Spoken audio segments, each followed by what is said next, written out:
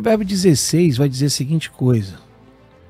É, 16, versículo 3. Confia no Senhor as tuas obras, e teus pensamentos serão estabelecidos. É, sabe, quando nós confiamos em Deus as obras que fazemos, e quando ele fala de obras aqui, ele está falando daquilo que nós temos por obrigação, por destino, por chamado. E muitas vezes a gente está relacionando isso a coisas religiosas e não é. Nós temos que entender que essas obras aqui é tudo aquilo que nós temos no emprego da nossa vida, nossa empresa, nosso trabalho, nosso comércio, as nossas decisões diárias.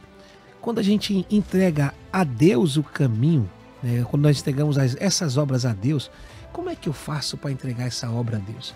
É quando eu confio nele e começo a dar o meu próximo passo baseado em, nas orientações bíblicas.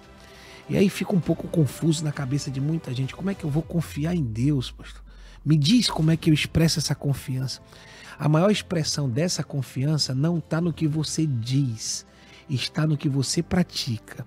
Se na hora de tomar a decisão você pratica aquilo que a Bíblia aprova, então a tua confiança estará nele. Ele está vendo isso através do teu comportamento e não através de um discurso. Porque muita gente discursa dizendo eu confio, mas se amedronta no primeiro é, embate, se desanima no primeiro revés. Na primeira dificuldade já começa a remodular seus pensamentos e desistir do propósito estabelecido. Então, quando nós confiamos em Deus, aquilo que nós estamos fazendo, por exemplo, eu estou fazendo a minha casa, eu estou construindo a minha empresa. Então, eu estou confiando em Deus o quê? Eu estou pedindo orientação de Deus para colocar tijolo, para rebocar uma parede, para contratar um pedreiro? Não, não é sobre isso. Confiar em Deus é dar passo a passo, mas baseado nas minhas obrigações como servo de Deus, como homem de Deus, como mulher de Deus.